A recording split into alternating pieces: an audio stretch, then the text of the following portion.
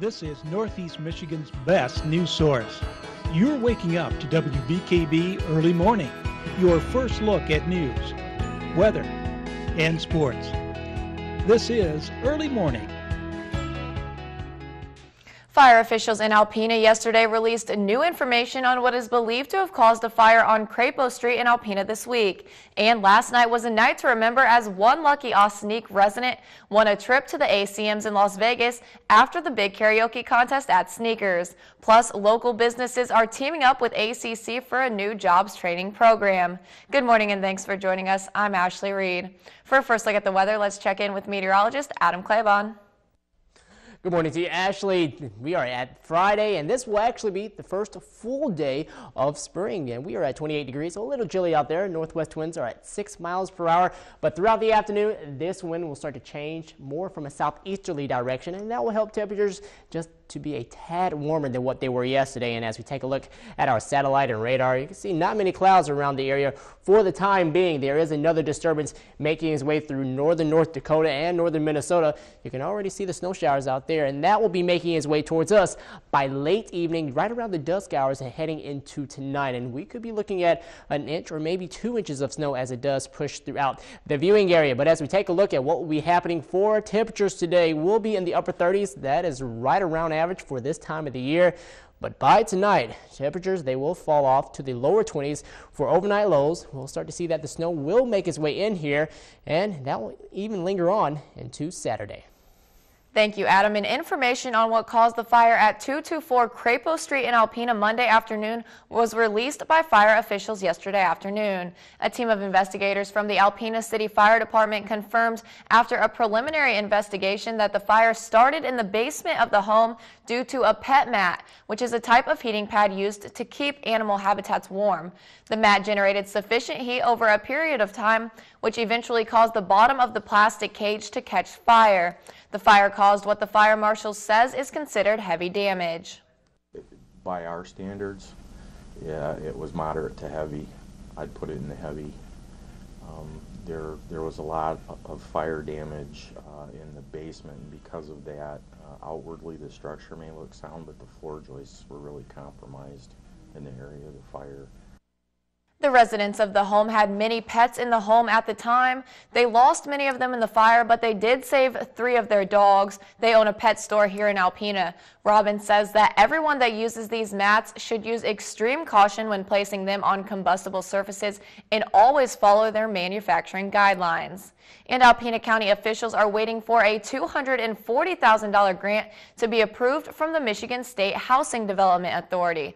Alpena County is usually only eligible for a $200,000 grant every other year, but with MSHDA's new plans for target designated areas, they recently opened up this new opportunity for the county to apply up until April 4th. Back in August, the county received a $200,000 grant that has already been used for homes in the area, and county officials believe this new grant, if approved, will be just as beneficial. So they designated the city and they have a plan and they that's where now that money has to be spent. So they want to revitalize like the downtown areas and where people in the community come. And that's their focus right now is that place-based targeting area. Skiba says county officials have a good track record with serving repairs for low-income single-family homes, and this grant would help to renovate up to eight homes in Alpena. The county will be notified by June whether or not they were approved for the grants. Well, last night it was quite the event at Sneakers in Alpena as our friends at WATZ helped us in giving away an amazing trip to the American Country Music Awards. 12 contestants that called into WATZ came out to sing their country music song of choice for a rambunctious but excellent audience. Mary Thurston and our own Lindsay Adaluca were honored to be the MCs yesterday evening. Both seemed to have a blast. Three final contestants made it to the second round to sing for the big trip to Las Vegas two tickets to the ACMs with $600 vouchers from us here at WBKB for flights, and then finally the after parties. And last night's talented winner was... Donna!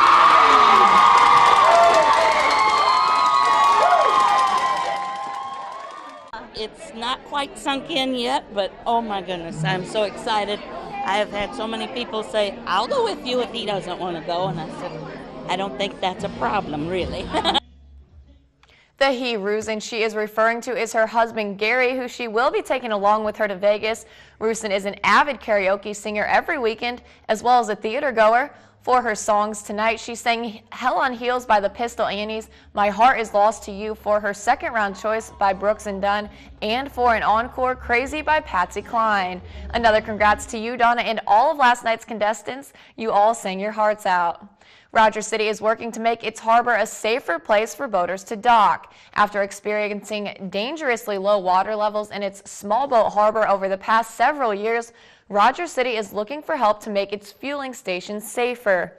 In order to afford a new floating fueling dock, the City Council has agreed to accept grants from the Waterways Commission and the USDA. City officials hope this move will increase boating traffic in the harbor. It'll definitely not discourage them any longer from fueling here, because it is, a it was a hazard. I don't know if you've ever seen our small boat harbor, but the dock was probably six feet above the water, uh, and it simply made it difficult to fuel. The grants will help cover $51,000 of what it costs to build the new fueling station. City officials also hope that increasing water levels this summer will bring in more boaters. And Alpena Community College approved preliminary talks last night for a program that will benefit local companies and potential employees. Designed as an economic development tool, the Michigan New Jobs Training Program encourages community colleges to work with local business to help train potential employees. Seeing an opportunity, the ACC Board of Trustees agreed to enter into talks with three local manufacturing companies to see how they can get involved with the program. We've got a lot of expertise and people fired up and ready to go to do this kind of training. We've got the capacity, and uh, when we can uh, uh, train, engage in training and education and this type of uh, promotion of skill advancement, you know, we've fulfilled our mission better. Former Governor Jennifer Granholm implemented this program back in 2008, hoping that new jobs would be created and increase the money brought in from state income tax. Funds from the program will help cover up to $500,000 worth of training. When WBKB Early Morning returns, it's time for another Fitness Friday. I met up with Trina Gray from Bay Athletic Club. We'll let you know the benefits of Pilates and show you some exercises you can do at home. Stay tuned.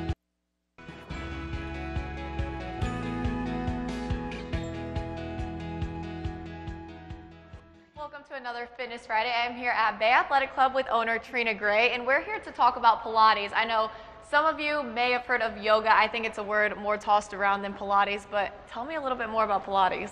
So, for people out there who have not heard of the amazing workout called Pilates, it's named after a gentleman by the name of Joseph Pilates. And he created this style of workout in the early 1900s.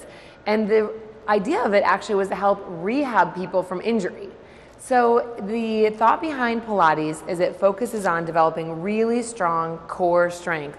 And when we're talking about the core, we're talking about from your shoulders to your hips, your front, and your back. So, really, your powerhouse, the area of your body that needs to be strong for everything to work well. He um, created a series of about 100 exercises that all are known today as the study of Pilates. They become very mainstream. People can do these exercises at home, they can do them in a health club setting, and they will find a very strong and toned uh, midsection and really long and lean limbs, which everybody loves. Okay, and you said it started out as more of a rehabilitation exercise. So, who does this exercise benefit now? Oh, excellent question. So, initially, Joseph was rehabbing himself from injury. And what I love to share about that is that it's for people of all abilities, all levels. It's a mat based program, meaning that you're on the floor, there's no impact on your joints. So, for the person who might have bad knees or bad hips, what a beautiful way to exercise without causing additional stress or strain. So it's for the person who can comfortably get up on um, up and down from the floor, and for the person who wants to increase their core strength, um, increase their back strength so they are less likely to be injured, and to really develop you know some strong muscles. Okay, so take me through a few exercises. Well, excellent. So the first one is called the roll up, and it's a great place to start. It's a really basic exercise. You're going to swing your feet out in front of you and lay yourself back on the ground. Now these exercises actually they look really simple, but once you start doing them, you'll find that they're actually it. quite challenging. So here we're just laying in a comfortable um, position. Her back is firmly pressed down into the ground, not arching up at all. She's gonna extend her arms out to her side and inhale As she exhales, she's going to literally roll her body up and reach her fingers toward her feet. Now, on the way back down, we're really going to control and roll back down. Pilates is based on the science of contrology or controlling movement. Makes it a lot harder. Right? If you just had to fall back like a nesty plunge, that wouldn't be challenging. Right. So let's take one more. Inhale. On the exhale, roll yourself up. And then on the release, roll back, controlling the movement, fighting gravity. You can feel that, right? I feel it. Excellent. All the way down. Very, very good. So for the viewer out there that that might be a little too advanced to start with, what you Okay. can show is you can just gently hold behind your legs and show this show the same movement. So rolling up, Help Yep. yourself up a little bit. help bit. yourself up, and guide yourself down. Okay. Well, while we're in this position, let's show you my favorite Pilates exercise. It's called the double leg stretch. You're gonna pull your knees into your chest and curve your upper body off the floor. So you're gonna look a little cocoon. From there, you're going to inhale, extend your arms up by your ears, your legs out long. Look how strong she is. On the exhale, swing your arms down and around and pull your knees in. Awesome. Let's show the viewers I look that strong, but I don't feel strong because it's burning. It's burning, right? That was one rep, you look amazing. Inhale, lengthen. You're really engaging your whole body here. Exhale, pull it around. Perfect. And set your head down. Relax. How are you feeling so far? I like it. It feels good. So it you don't burns, need but it feels good. Anything Yeah. fancy to do this, right? Just basic movements. Exactly. So rock yourself up. I'll Okay. show you one more exercise. You're going to lay on your front. Okay. Lay down. Lay down on your front, yep. Extend your arms out in front of you, and your legs are out long. They're lifted off the floor, right? And then you're gonna alternate your arm and leg and strong movements. Now, this is a total body strength training movement with no weights, no bands, no excessive pressure on her joints, just her entire body working together to control this movement. Now, is this something you want to do slow or faster? Nice and slow and controlled is absolutely perfect. So four, three, two, one. Go ahead and sit up and give me a high five for rocking your first session Thank of you. Pilates. I wouldn't be able to do it without my great teacher, so perfect. How fun. Now, if you didn't know what Pilates is, you now know. So thanks for joining us for another edition of Fitness Friday. We'll see you next week.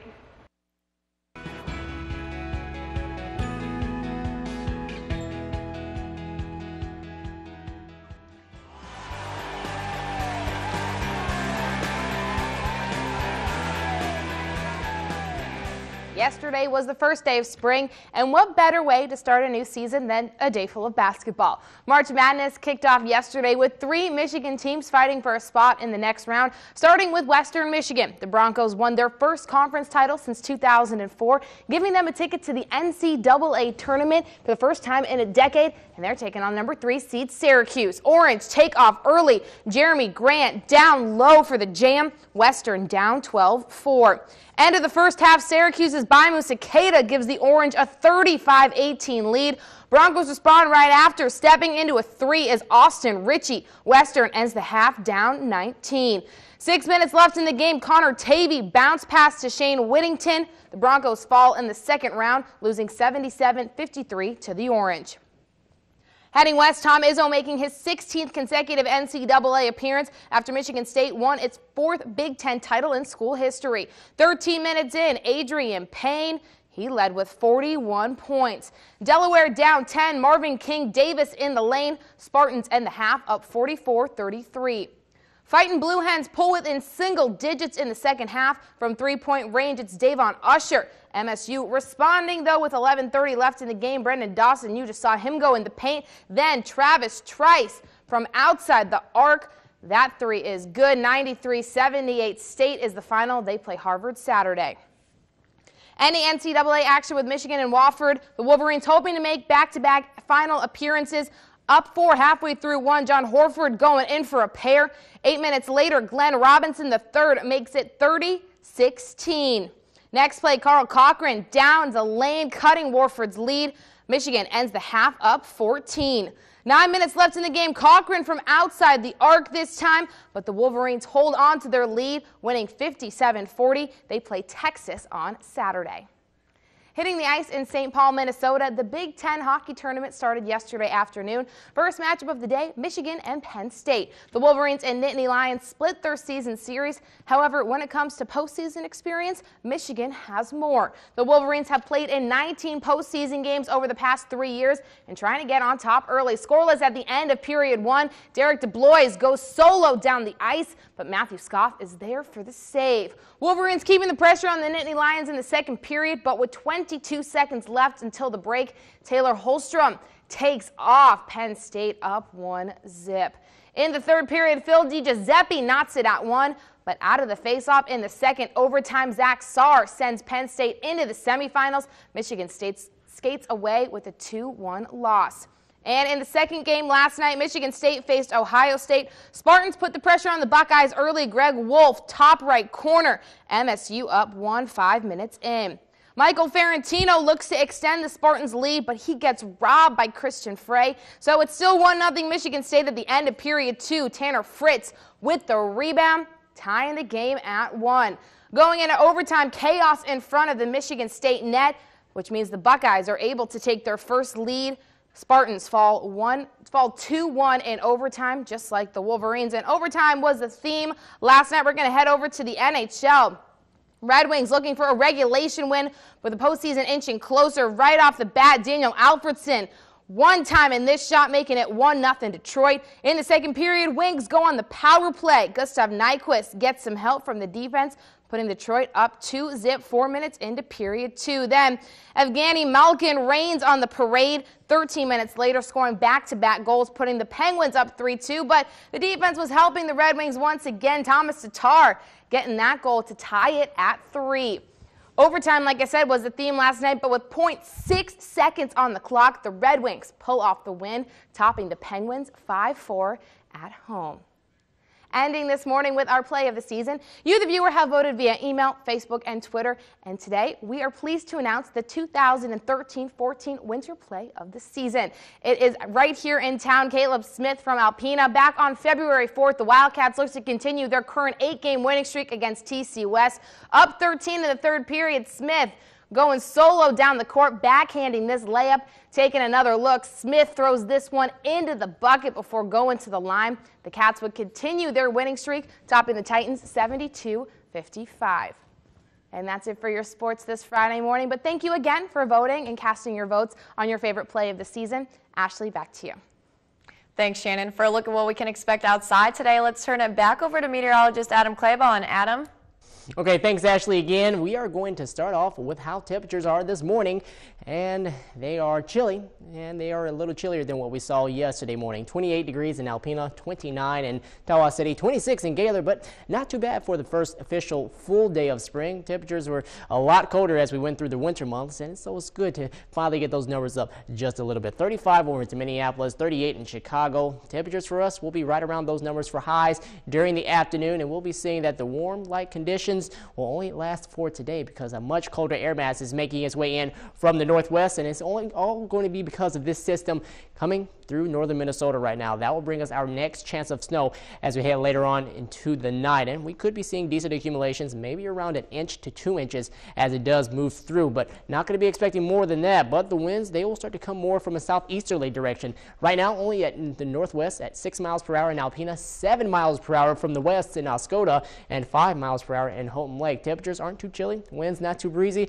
so wind chills, you only see a few areas of pink here on the map going up here into the eastern UP at 13 13 degrees into the Soo, 15 degrees in Mackinaw City, and more of the lower 20s in Alpena and in Oscoda. What's ahead for us today?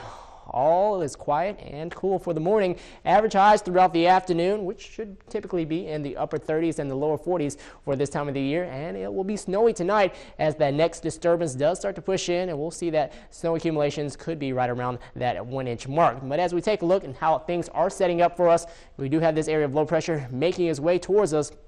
Actually, some rain as you go a little farther south. They'll be dealing with that as you go closer towards Flint and Saginaw. But for us, just expect it all to be snow by tonight, especially with the sun going to be down. That is what is going to help most of it to be snow. And we are looking at this system as it does continue to make its way onto the east.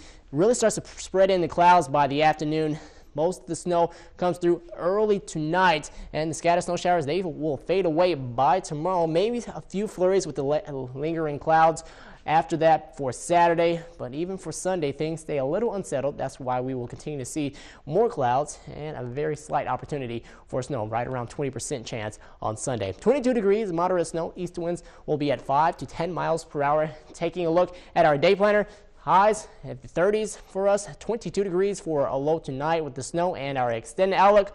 We'll be back in the 20s for highs on Sunday and even for Monday with a low of zero. All right, thanks, Adam. Well, coming up next on WBKB Early Morning, military aircraft from several countries are continuing to search for debris in the Indian Ocean that may be linked to missing Flight 370. That story and more after the break. Good morning and welcome back. I'm Ashley Reed. In national news, five military aircraft from several countries are being used today to search for debris that could belong to the missing Malaysian Airlines jet. One plane already completed its mission for the day without finding any sign of the 777 that vanished March 8th. CBS's Tara Mergener has the story. Australia's P-3 Orion aircraft traveled four hours this morning to a remote part of the southern Indian Ocean. Crews are searching the area for two pieces of debris spotted on satellite images Sunday that may be connected to missing Flight 370. We've been throwing everything we've got uh, at that area to try to learn more about what this debris might be. The search zone is southwest of Perth, Australia, in an area called the Roaring Forties, 40 degrees south of the equator known for strong westerly winds. Because of the distance to and from the location, all military planes involved can only search for two hours per trip due to fuel limitations. It's about the most inaccessible spot uh, that you could imagine on the face of the earth. But if there is anything down there, uh, we will find it. We owe it to the families of those people to do no less. On Thursday, relatives of some of the 239 missing people on board arrived at a hotel near Kuala Lumpur's airport searching for answers. We try to address, uh, not to say problem, to answer their questions. Buoys are now in the ocean to chart the currents, but officials caution it could take weeks to find the debris. Tara Mergener for CBS News. Several ships will also take part in the search. A Norwegian vessel is already in the area, and China's government says it's sending three naval ships to join the search. Now we're going to take one last look at weather. Adam?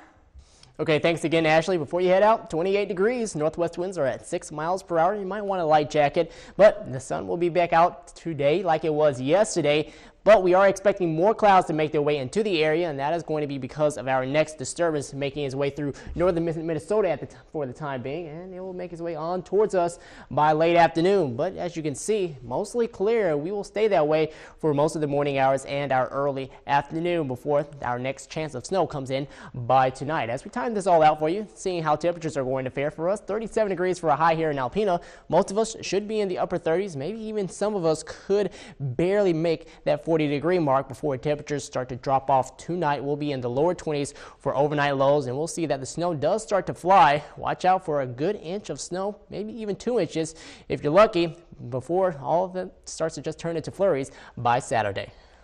Thanks again, Adam. Be sure to tune in tonight for WBKB 11 News at 6 for updates in news, sports, and weather. Lindsay Idaluca will have the latest in local news. Meteorologist Adam Claybon will have the weather, and Jeff Kolb will have updates from the world of sports. Also, don't forget you can read more about our broadcast stories and get the scoop on other news items online. Just visit WBKB11.com for sports, weather, and news updates anytime, day or night or add us on Facebook at facebook.com slash WBKBTV. That's all we have for you today on WBKB Early Morning. Thanks for watching. Good Morning America is up next.